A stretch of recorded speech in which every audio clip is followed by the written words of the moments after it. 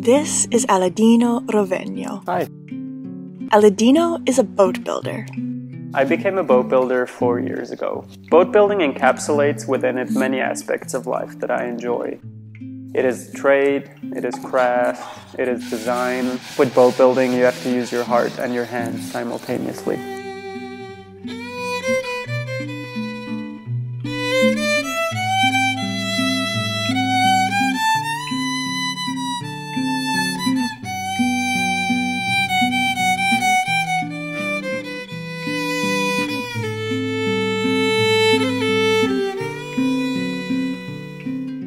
Boat building is a slow craft. When you begin building or restoring a boat, you're in it for the long term. And in this video, I wanted to talk with Aladino about the biggest project he's taken on yet a personal project which took him four years of dedication, love, sweat, tears, frustration, and ultimately joy. I bought my sailboat, Magic Carpet, four years ago. When I bought her, she was a total shipwreck. She had fallen 20 feet off a crane and insurance wrote her off. The entire back section of the boat had blown off. Rudder and keel were crushed. There was a huge crack on the side. And she was destined to go to the junkyard. But I could see that she was way too beautiful to accept such a fate.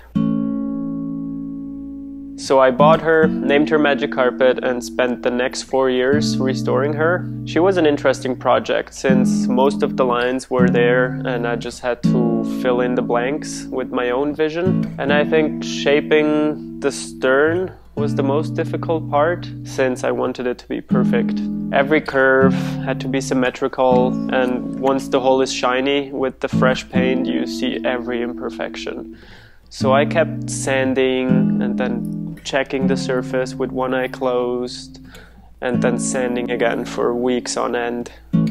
But reshaping the stern was not the only big project that Aladino had to undertake in order to see Magic Carpet floating again. I made changes to the interior design. I rebuilt entire sections of the boat. I replaced or repaired all the wood which had broken from the I impact. spliced, sewed, and checked all the halyards. I strengthened parts of the boat that I saw as weak points. I checked and replaced all of the rigging. I designed and built a brand new electrical system. I revarnished and painted every single surface. I had this strong feeling that this was becoming my masterpiece, so I wanted to feel proud.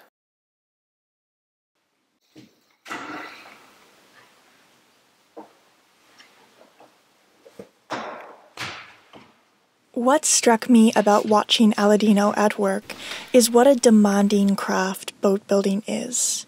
Realizing your vision involves weeks of sanding, drilling, hammering, sawing. It is not just artistic inspiration, it is also sweat and dedication. You have to have passion to endure the fiberglass dust that itches at your skin, the sweat that builds up under your respirator, the ache in your shoulders after holding a heavy sander above your head for six hours. But as Aladino told me about Magic Carpet, I could see the passion in his eyes.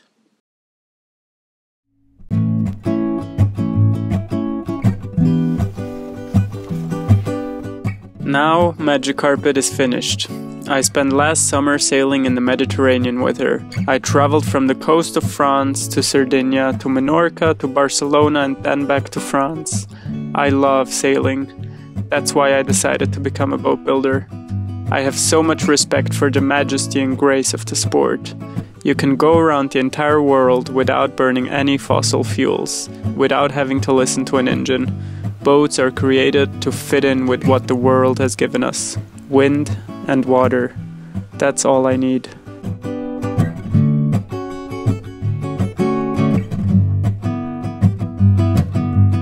Aladino will continue to sail, build boats, and see the world.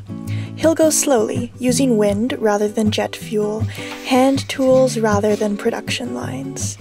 And as Aladino uses his skills to move him across oceans, I will be there too, because last summer I decided to marry him.